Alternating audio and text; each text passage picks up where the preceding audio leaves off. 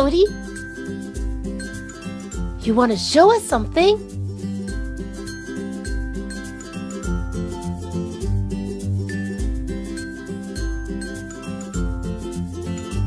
Look at that!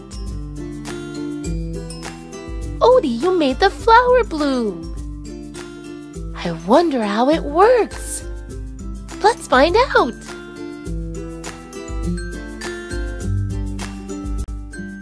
Paper is mostly made up of tiny cellulose fibers. When paper comes into contact with water, the water molecules push their way in between the cellulose fibers, forcing them to spread apart.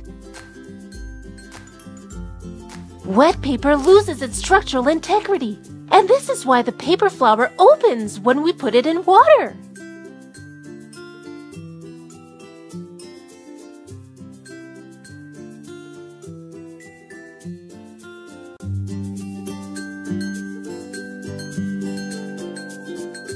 Odie, can you show us how you made this experiment?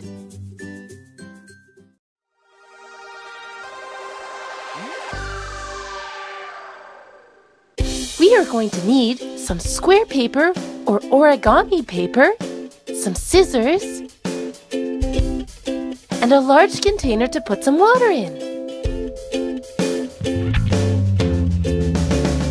Let's start by taking our square piece of paper folding it in half.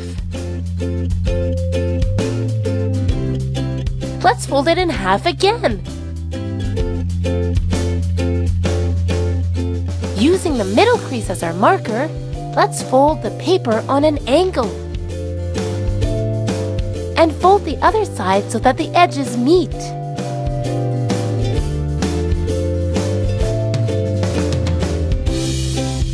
With a marker, let's draw a petal.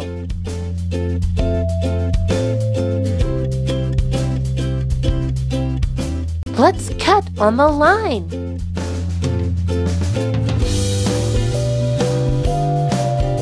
Next, we are going to open up our flower and fold the petals in.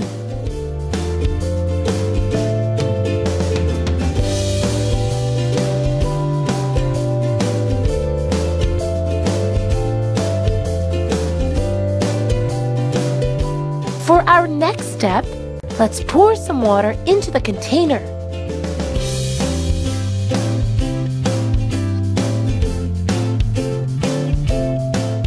Now let's gently toss the flower on top of the water and watch it bloom.